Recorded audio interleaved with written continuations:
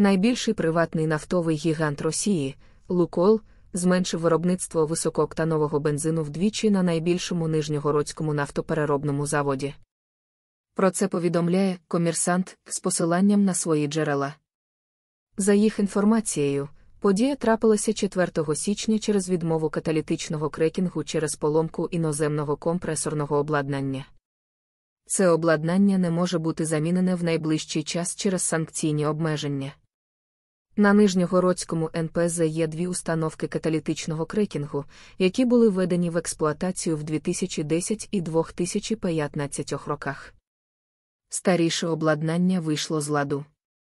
Але один із інсайдерів стверджує, що 26 грудня 2023 року також відбулася поломка на установці крекінгу 2015 року, але її вдалося запустити на меншій потужності з того часу.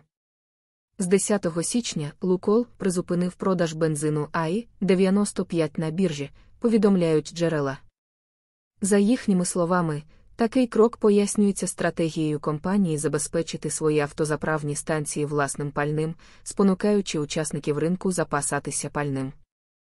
Нижньогородський нафтопереробний завод відіграє ключову роль у забезпеченні московського регіону, де приблизно 30% всього споживання бензину в РФ до Москви бензин з НПЗ постачали трубопроводом.